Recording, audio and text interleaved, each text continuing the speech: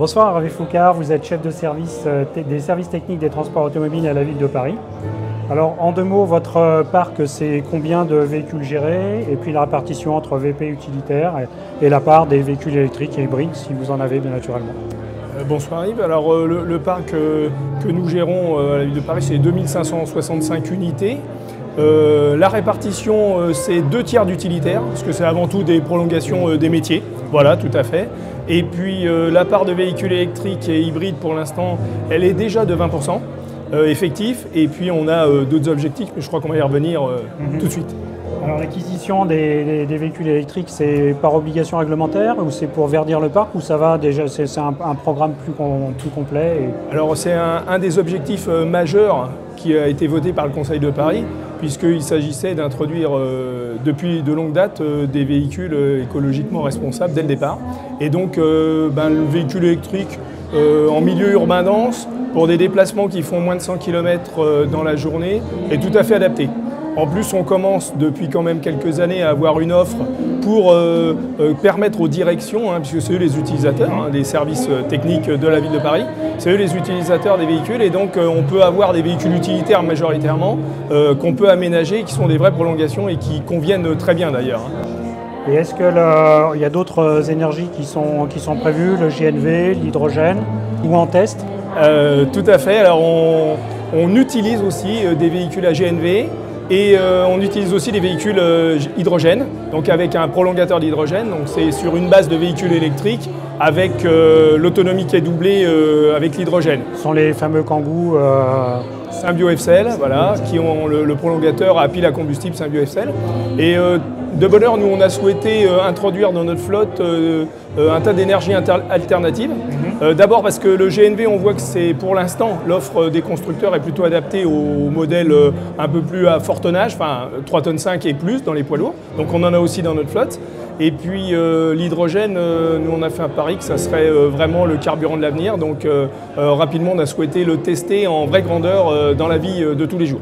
Alors aujourd'hui on est plutôt toujours en majorité sur le diesel et sur l'essence avec une mutation euh, du diesel sur les petits modèles euh, vers l'essence. Chez vous, c'est quelque chose qui est... Nous, depuis déjà euh, plusieurs années, on a enlevé l'intégralité du diesel sur les citadines, berlines et petits utilitaires. Mhm.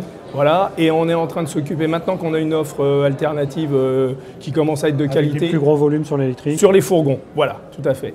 C'est quoi vos objectifs de, en diminution de, CO2 Il y a, Vous avez des, des, Oui, alors on a des objectifs fort. Et, surtout, on a un objectif principal dans le cadre du plan de déplacement de l'administration parisienne, mhm. qui est le, un plan de déplacement d'une entreprise, hein. c'est l'équivalent. Et on a 90% euh, de véhicules qui doivent être électriques dans les catégories berline, citadine et petits utilitaires en 2021. Ah oui, donc c'est après-demain, ouais. Voilà, donc euh, c'est pour ça qu'on a commencé de bonne heure euh, et on a euh, un peu devancé la loi de transition énergétique mhm. qui impose aux collectivités territoriales 20%. Et nous, on s'est mis déjà au-delà parce qu'on sait que de toute manière, dans notre car policy, la voiture que nous proposons de base, c'est pour l'utilitaire notamment, le véhicule électrique. Alors un des problèmes du véhicule électrique, c'est souvent le, frein, c'est le surcoût et la revente. Alors comme vous, vous n'êtes pas en location longue durée, vous les revendez vous-même. Oui. Est-ce que c'est vraiment un frein, le surcoût, et est-ce que vous arrivez à les revendre et comment?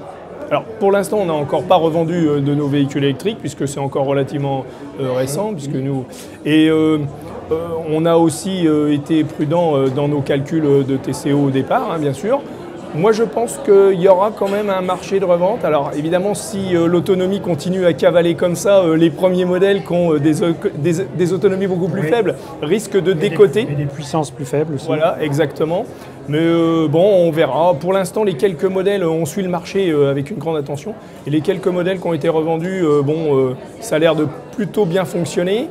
Euh, les constructeurs vous aident là-dessus ou euh, Alors sur les reventes, euh, non, puisque nous, avons nos propres marchés publics, mais nous suivons, nous, le marché pour voir comment ça réagit d'ores et déjà sur les premiers modèles qui sont mis en deuxième main, en second marché. Alors dernière question, on dit que la gestion de parc demain va déboucher sur la gestion de la mobilité. Est-ce que c'est quelque chose à la ville de Paris qui est en cours? Est-ce que les gens qui gèrent le parc sont mis dans la boucle pour pour le- le- le- les déplacements globaux euh, des, euh, des collaborateurs ou, ou c'est toujours en discussion, en projet ou... Non, c'est on- effectif. On commence, on commence déjà depuis euh, quelques mois à proposer aussi des solutions alternatives euh, au tout véhicule. Et on a vraiment euh, un rôle de conseil envers euh, les utilisateurs du quotidien pour euh, que les déplacements bah, soient évités, après qu'ils soient mutualisés. Et enfin, euh, si on peut rien faire d'autre, on fait de la voiture. Mais vraiment, on propose des solutions alternatives, alors des, des itinérances particulières avec des petits véhicules électriques euh, en relais ou des choses comme ça. Et puis euh, le transport en commun est quand même très développé à la ville de Paris et à chaque fois qu'on peut, on le privilégie. D'accord. Eh bien Hervé, merci beaucoup pour ces, ces réponses précises et concises. Merci à vous. bientôt. À très bientôt.